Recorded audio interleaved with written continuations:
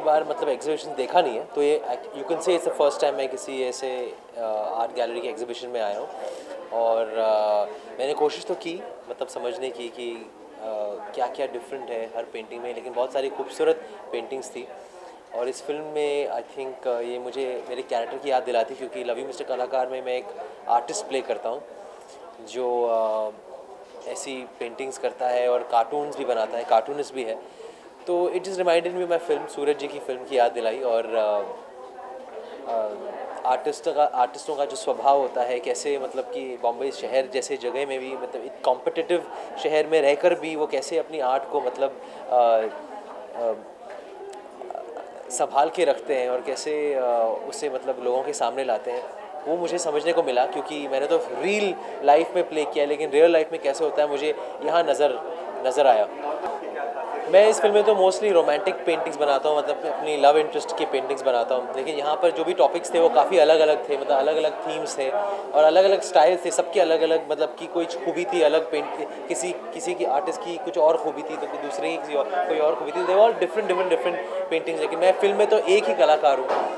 और मैं मतलब ज़्यादातर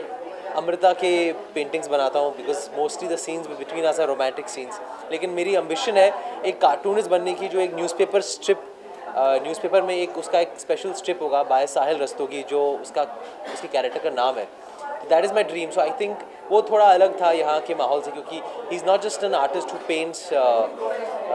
something like this but he is wants to be a cartoonist for a newspaper तो दैट इज़ समथिंग वो एक अलग बात है मेरे कैरेक्टर में।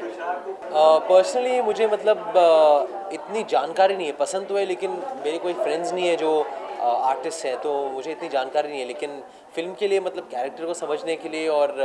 साहिल रस्तोगी बनने के लिए मैंने काफ़ी मतलब मेहनत की, काफ़ी रिहर्सल्स किए, काफ़ी मीटिंग्स की डायरेक्टर के साथ और एक ऑडिशन भी किया फ़िल्म के लिए। ये समझने के लिए कि साहिल रस्तोगी कैसा इंसान है, वो आर्टिस्ट तो है, लेकिन